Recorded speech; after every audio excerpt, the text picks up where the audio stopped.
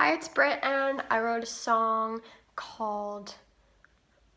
you know, I don't actually know what it's called right now, I'll figure it out, but I really think this song has like an important message that I know at least I needed to hear, which is kind of weird because like I wrote it, but like sometimes that like, you figure out stuff that you need to hear when you're writing it down. So I hope you like this.